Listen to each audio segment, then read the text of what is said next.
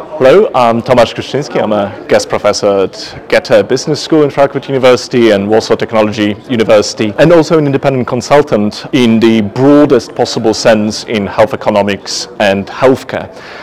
And I'm absolutely delighted to be here at the MEDPS um, for the third time. I was actually here at the very, very first inception when the, the, the, concept of the conference was being formulated.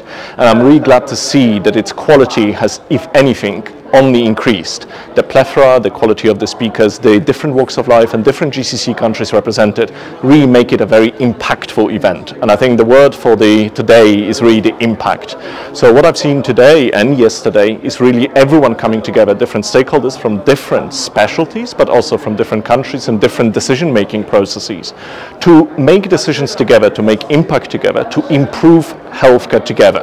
So impact and togetherness are really the running theme of this conference. And I think MENA is, or MENA, GCC specifically, but MENA more broadly, is a very it's in pivotal stages. So many countries are introducing HTA, many countries are reforming. And I think I never cease to be surprised how big is the appetite for change and impact and how effective, efficient and, and fast are countries like Saudi Arabia or UAE in adopting change management, in really flipping what was inefficient towards being fully efficient.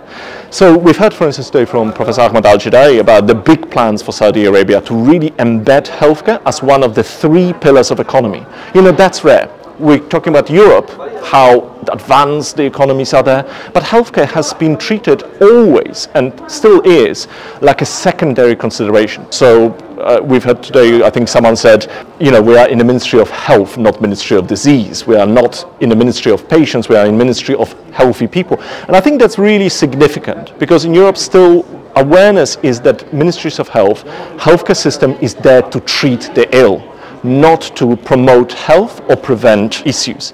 And I think that's why I brought to the consideration today in my own talk how to really construct a healthcare system or assessment of health technologies to promote the greatest impactful innovation and not to refuse innovation based on a very simplistic view of say either cost effectiveness or budget impact.